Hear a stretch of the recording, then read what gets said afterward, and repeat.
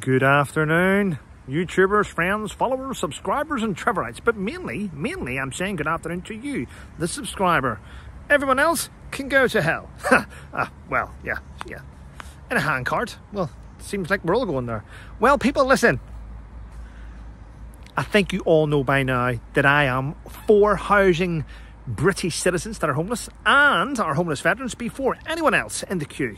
In fact, if I worked in a home office, not a single thing would get past my desk. I would say, have they paid taxes in the past? Are they British citizens? No, we'll then put them at the bottom of the pile.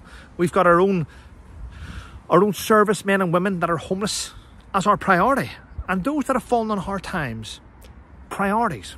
Priorities over foreigners. That's my policies. Anyway, a while ago, the government came up with a plan called the Rwanda Plan, and they said, I tell you what we'll do, we will invest millions, hundreds of millions of pounds in Rwanda, and we will build hotels and holiday resorts and we'll infrastructure. And what we'll do is we will come with an agreement to the Rwanda government, and we will send those arriving on our shores across there, the fit and healthy ones, in exchange that Rwanda can send their most deprived citizens across to the UK. No one thought about that. So Rwanda said, we'll send our deprived citizens to the UK for help, and you can send those arriving on boats that can work across to Rwanda. And we come up with a plan, the Rwanda plan. Now, it looked quite well, didn't it?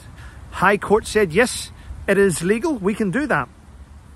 But then the woke left, the woke left, and I will class mainly Labour Party supporters when I say this. Yeah, it's my opinion my channel.